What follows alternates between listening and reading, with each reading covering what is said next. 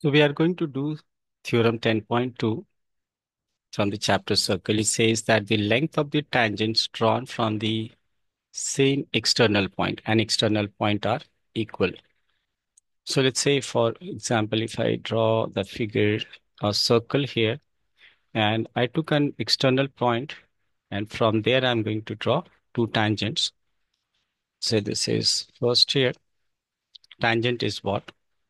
A line drawn from a exterior point right, intersecting this circle at one point.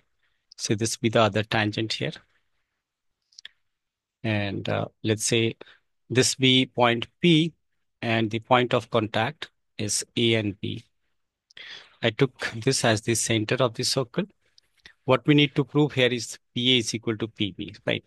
So construction involved here is that we'll be joining uh, the point of contact with the center. So if I join this center with the point of contact, one is this, and the other will be joining with the other point of contact. Let's say this. And this being the center of the circle, I mark the center as O. Further, we'll also be joining P with O. We'll join PO as well. Now, what we is given here is very clear. And then what we have to prove is PA is equal to PB. This is what we need to prove. For that, we are going to consider these two triangles. The triangle to be considered are, yeah, I'll tell you. We'll be proving these two triangle congruent. These two triangle. So how can we prove these two triangle congruent? Let's say first thing that we'll do here that we know that uh, OA is equal to OB, that is radii. And this is common, right? PO is equal to OP, that is common side.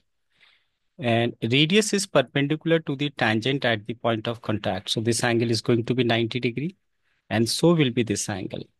Radius is perpendicular to the tangent at the point of contact. So from RHS, we can say that the triangles are congruent. And once it is congruent, we can say PA is equal to PB. So we can do the proof part here. And in the proof part, I'll be writing what? In triangle, and the triangle is what? PAO, and the other triangle is POB. We have OA is equal to, we have OA is equal to OB, and the reason for this is radii. The plural of radius is radii. And OP is equal to PO, that is common, it's common side. And then we'll write angle A, sorry, PAO is equal to angle PBO and each 90 degree, right? Each 90 degree.